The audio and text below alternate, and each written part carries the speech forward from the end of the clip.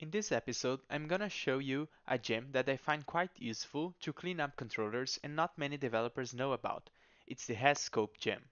To illustrate its purpose, I have here a simple Rails app with a products page. In this page, the user can search products by name, price, and also navigate through pages using pagination. Now I'm gonna show you the code in the controller. Here you can see that we check for each different filter that may be applied and also apply pagination after that. This is not ideal. Controllers should be thin because their code is not reusable and fat controllers are hard to maintain. Let's remove all the code responsible for building conditions from the controller and move it to the product model, where it should be. Notice that for the price filter I'm creating a single scope. This is to illustrate a different scenario later on. Keep in mind that this is a contrived example and I will keep these filters in separate scopes in a real application. Cool.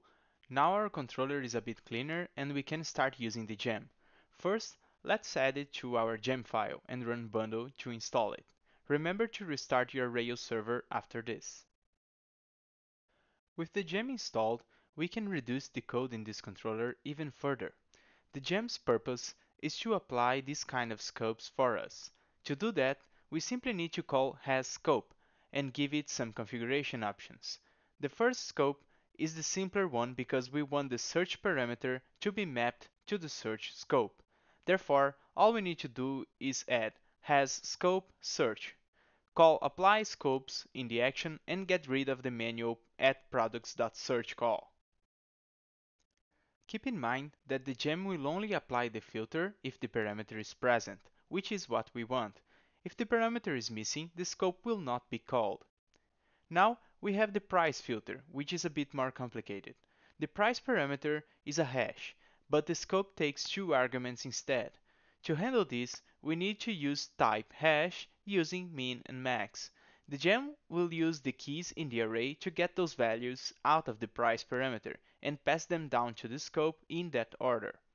Also, the parameter we're getting is called price, but the scope is called by price. To tackle that, HasScope allows us to customize the parameter name with the as key.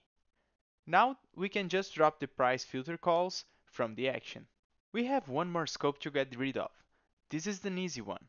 The only difference here is that we want the page scope applied all the time, regardless of the parameter being there or not. To achieve that, we just add HasScope page default 1. When you give HasScope a default value, it will always be applied. Then we can remove the page call and it's done.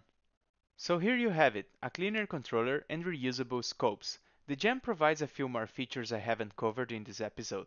Make sure you check out their docs if you're interested. Thank you for watching and I hope you find this useful.